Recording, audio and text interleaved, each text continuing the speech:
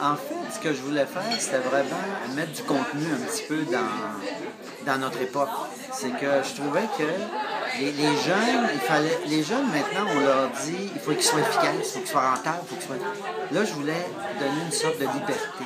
Genre, quand tu es poète, tu peux être jeune, mais puis tu peux être déjà poète, tu es obligé d'attendre. Il ne faut pas attendre d'être quelque chose, on l'est déjà.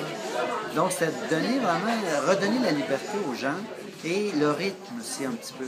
Parce qu'on est dans une période où c'est effervescent au niveau du rendement le temps, de l'efficacité. Et ça, c'est beaucoup trop.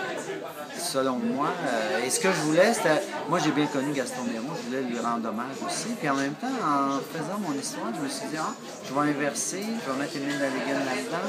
J'ai commencé à faire des images, essayer de. Parce que les images, on les reconnaît. Il y a des images qui sont empruntées à Jean Dalligan ou à ou à Gaston Miron aussi, parole rapaillée de Miron. Mais euh, c'était ça que je voulais passer le plus, c'était croyez, si vous avez, si vous êtes jeune, faites ce que vous, voulez faire dans la vie, gardez vos rêves, puis choisissez pas nécessairement quelque chose pour l'efficacité à tout.